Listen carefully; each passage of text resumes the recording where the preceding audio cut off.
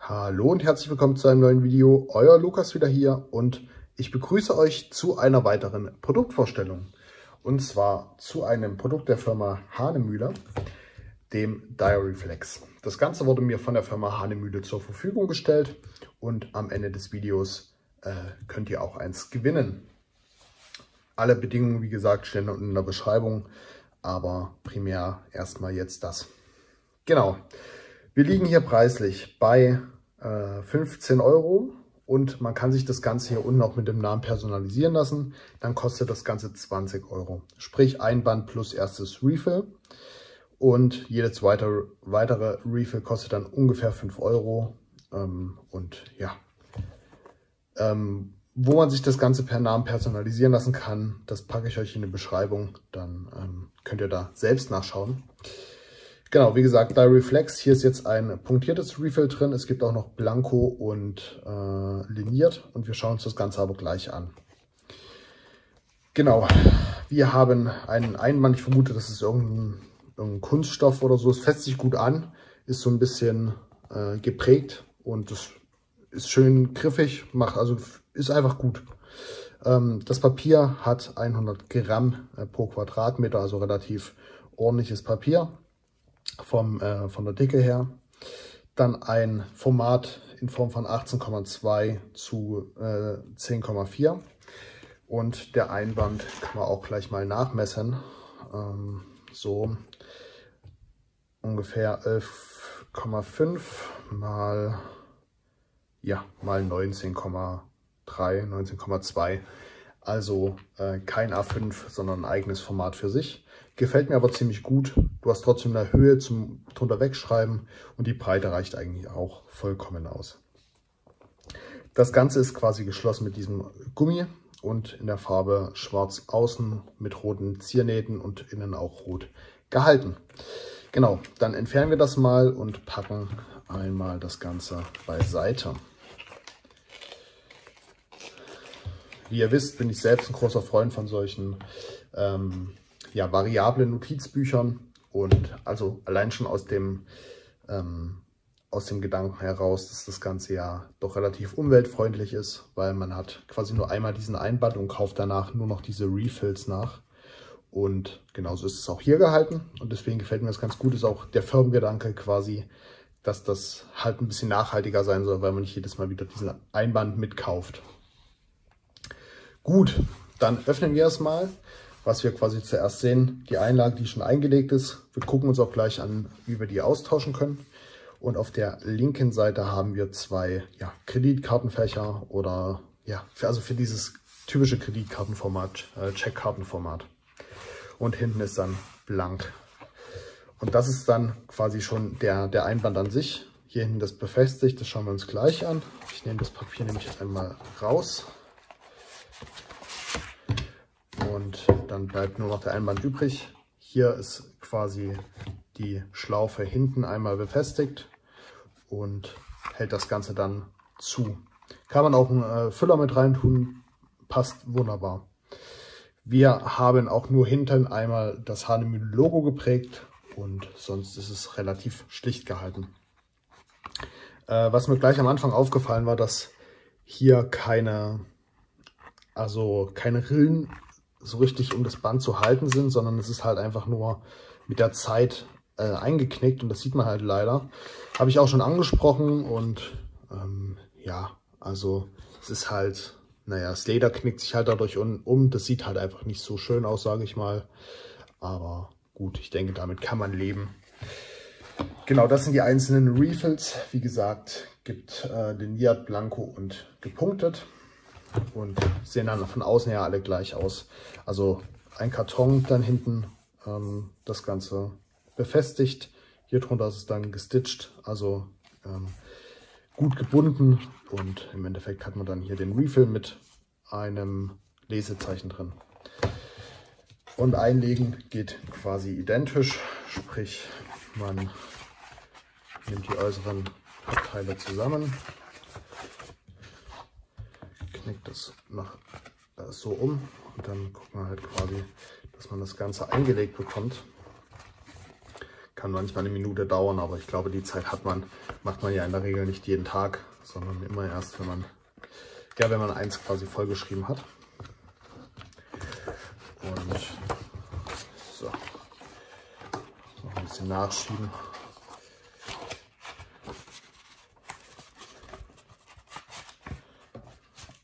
So, und fertig eingelegt ist es und dann kann man ganz normal weiterschreiben.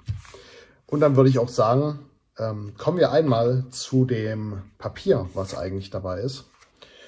Und ähm, wie gesagt, eigentlich sind alle drei Hefte haben das identische Papier, also ist keins davon äh, besser, schlechter, leichter oder schwerer, sondern die haben vom, vom Grundgedanken her alle das, äh, das gleiche Papier.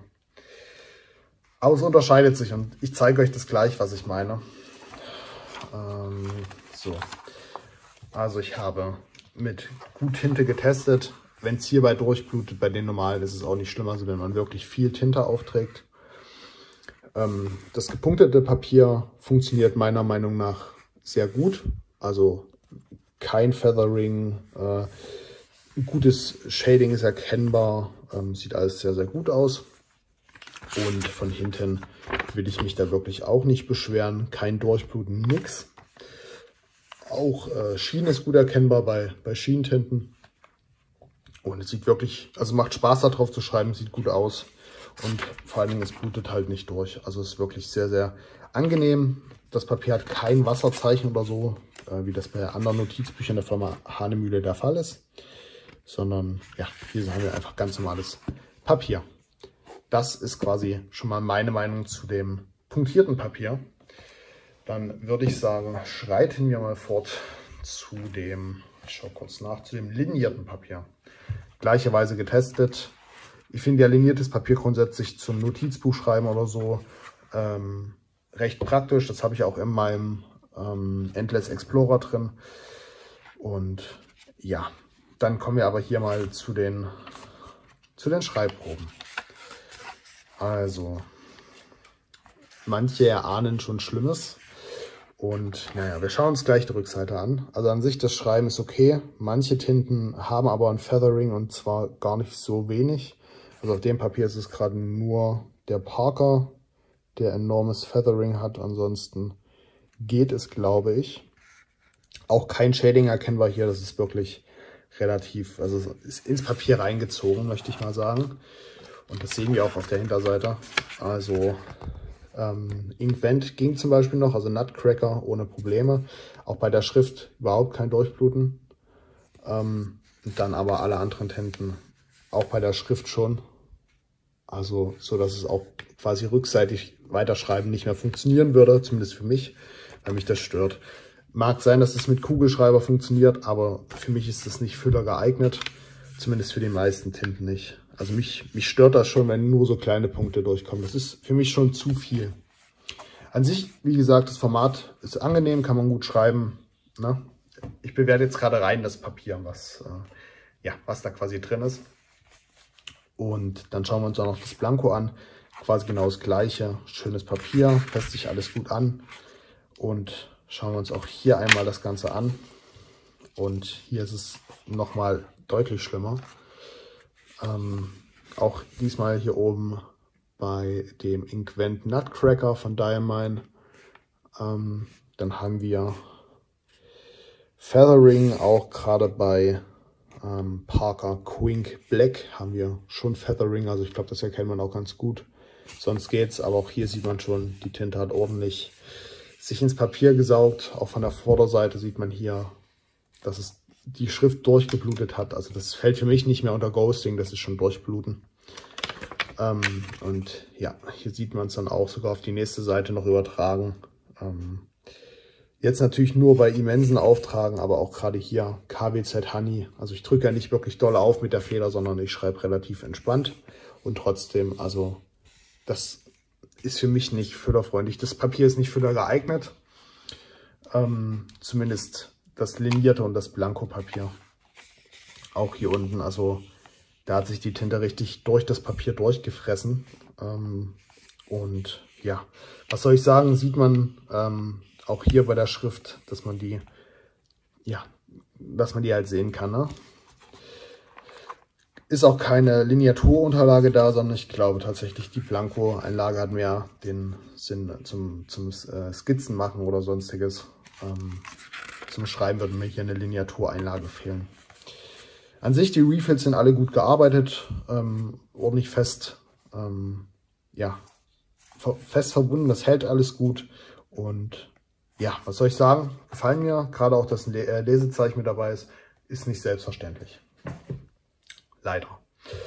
Ähm, genau, dann schauen wir uns nochmal das Gepunktete an. Also von den Papieren kann ich tatsächlich bewusst nur das gepunktete Papier empfehlen. Ja, also hier hat das gut funktioniert, kein Durchbluten von der Vorderseite, alles, äh, alles absolut okay. Man hat ein Shading, äh, man hat ein Sheen und vor allen Dingen auch bei viel Tinte hält das Papier das aus. Natürlich wälzt sich dann ein bisschen, ohne Frage, das macht jedes Papier, aber wichtig ist mir, dass bei der Schrift nichts durchkommt. Ghosting ist auch da bei der Schrift, aber angenehm. Also hier könnte ich auf der Rückseite noch weiterschreiben, das würde mich jetzt nicht stören. Somit ist quasi das System gefällt mir gut, schönes Format, ähm, wirklich gut verarbeitet. Und wie gesagt, gerade wenn man das halt ähm, zumacht, kann man zum Beispiel hier an der Seite natürlich relativ ungeschützt, aber man kann ähm, zum Beispiel auch einen, Füller noch mit, mit reinmachen und hat den quasi dabei. Also das funktioniert schon und ergibt dann auch mehr ein Gesamtbild. Von daher, das gefällt mir, dass die Einlagen relativ günstig sind ähm, und ja, man irgendwo ein Produkt bekommt, was, was gut geeignet ist zum Schreiben.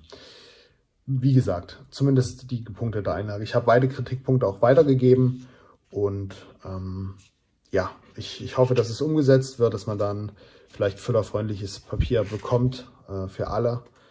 Und ja, genau, das ist, das ist so das Produkt. Wie gesagt, meine Meinung gefällt mir von dem Format, gute Verarbeitung, äh, die Anzahl an Refills ist, ist vollkommen okay ähm, und auch der Preis ist absolut in Ordnung. Nur halt, das außer dem gepunkteten Papier sind die Einlagen meiner Meinung nach nicht füller geeignet.